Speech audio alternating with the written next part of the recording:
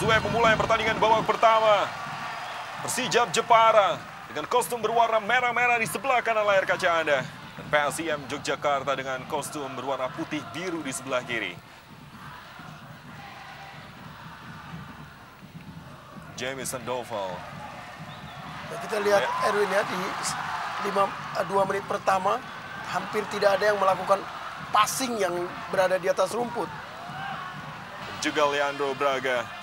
Siap dua pemain ini untuk mengambil tendangan bebas. Sebuah kesempatan yang mungkin bisa dimanfaatkan oleh Laskar Kalinyamat. Evaldo Silva. Oh! Luar biasa. Jauh dari luar kotak penalti dan benar-benar di luar prediksi saya Erwin, Berry.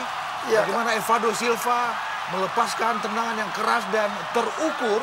Ya, tembakannya bisa bisa sangat berbahaya karena bentuknya flat bung ya artinya mendatar dan mampu menerobos eh, dua palang pintu yang dijaga oleh Seto tadi bung. Sama sekali tidak ada reaksi tadi dari Ya, kita lihat Prasetyo. bagaimana flat dan melengkung ke arah kiri dari Prasetyo yang membuat eh, pandangan Prasetyo terhalang oleh eh, pagar betis dari tim dia sendiri. Ya, kita lihat bagaimana mestinya para aparat menghadap ke penonton Bung ya, tapi semuanya menghadap ke pertandingan. Christopher.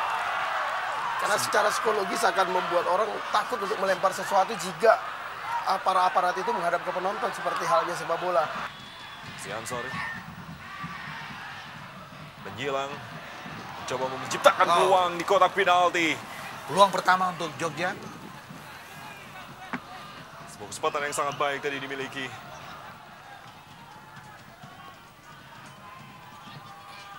Bermain dari sayap kanan, Leandro Braga dan juga Christopher Udensi di kotak penalti. Fahrudin, penyelamatan yang baik dari penjaga gawang Prastio Sugianto kali ini. Satu tendangan yang lumayan bagus tadi dari Fahrudin. Dan juga terjaga akurasi ya kita lihat satu umpan yang matang juga. Ya, semi volley, terarah dan keras. Jadi tendangan maupun penjaga gawang layak kita beri nilai 8 pada pertandingan ini. Ya, Umpan kita yang lihat. sangat baik dari Leandro Braga. Ya. Dan reaksi penyelamatan Prasetyo Sugianto juga eh, cukup bagus kita lihat. Seton Nurdiantoro bergerak. Dan kini kesempatan yang sangat baik Imra Usman. Mencari peluang untuk melepaskan tembakan. Oh! Sorry, diarahkan langsung gawang. Bola menyentuh tiang gawang. Namun penjaga gawang Danan Wihat Moko berhasil menangkapnya. Cepat eksekusi dari Ansori dan cepat juga reaksi Iya, dari iya. Danang tadi. Dan itu sangat berbahaya karena bola itu berat menuju sudut sempit yang Ya. yang jarang diantisipasi oleh penjaga gawang dan kebetulan penjaga gawang Danang mampu mengantisipasi dan nyaris kita lihat bagaimana Handoyo. Muhammad Irfan. Masuki Matara injury time. Terlepas kali ini. kesalahan Jack John mencoba melakukan tendangan. Oh! Sebuah tendangan di luar kotak penalti yang mengubah kedudukan sementara ini menjadi satu sama. Di masa injury time, Jack John mencetak gol pertamanya di Liga Jarum Indonesia. Ini gol pertama buat Jack John di Persijap Jepara karena dia pertama kali pertandingan di, di babak kedua ini, Bung. Hanya saja kita lihat bagaimana kehebatan seorang Jack John mampu melakukan tembakan di antara dua pemain belakang Persijap yang mencoba menjepit dia, Erwin. Dalam tayangan ulang, pergerakan dari Ya, Jack dan- John melewati Kasih Adi dan juga Danan Puspito yang mencoba menghalau arah gerakan yang sudah tepat sebetulnya tadi. Ya, artinya kita lihat bagaimana bola memantul liar yang membuat penjaga gawang pun sulit untuk mengantisipasi. Kita lihat bagaimana Mas Pablo mengakhiri pertandingan babak pertama ini dalam kedudukan satu sama. Persijap Jepara mencetak gol lewat Evaldo Silva di menit ke-10 dari tendangan bebas dan Jack John membalasnya di menit ke-45. Mendatar rendah permukaan tanah yang tidak rata di Stadion Kamal Junaidi ini.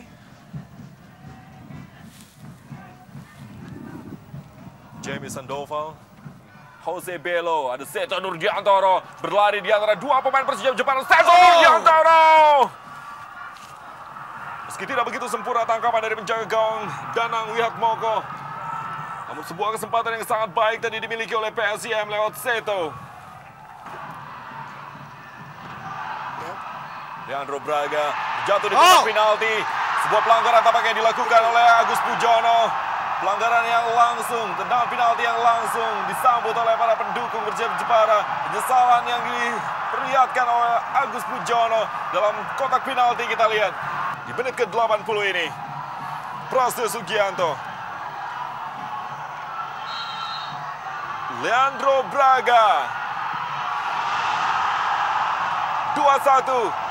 Persijap Jepara unggul atas PSIM Yogyakarta dengan lemparan-lemparan justru yang masuk ke lapangan meski mereka dalam kedudukan unggul saat ini. Antisipasi penyelamatan dari Prasetyo lumayan bagus dan arahnya tepat, tetapi eksekusi Leandro Braga justru lebih cepat merobek gawang PSIM Jogja untuk kali kedua. Pertandingan berakhir dengan kedudukan 2-1 untuk keunggulan Persijap Jepara. Setelah gol tambahan tadi dicetak oleh Leandro Braga. Yang mencetak gol keduanya di putaran kedua ini.